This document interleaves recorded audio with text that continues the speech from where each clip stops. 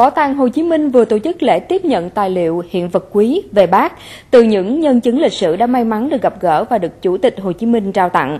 Đó là 70 bức ảnh tài liệu hiện vật cùng các tác phẩm nghệ thuật ấn phẩm có giá trị như bốn lá thư Chủ tịch Hồ Chí Minh gửi Bộ trưởng Hoàng Tích Trí năm 1947, năm chứng minh thư Chủ tịch Hồ Chí Minh cấp cho Bộ trưởng Hoàng Tích Trí có bút tích chữ ký của người. Chiếc khăn quàng đỏ, phần thưởng của Chủ tịch Hồ Chí Minh tặng ông Đinh Ngọc Thủy, chủ nhiệm hợp tác xã Măng Non Duy Viên, xã Vĩnh Lâm, huyện Vĩnh Linh, tỉnh Quảng Trị. Bức tranh sơn dầu chân dung Chủ tịch Hồ Chí Minh do họa sĩ người bulgari sáng tác năm 1958. Đây là hoạt động thường niên của bảo tàng nhằm sưu tầm lưu giữ và phát huy giá trị của các tài liệu hiện vật về Chủ tịch Hồ Chí Minh ở trong và ngoài nước.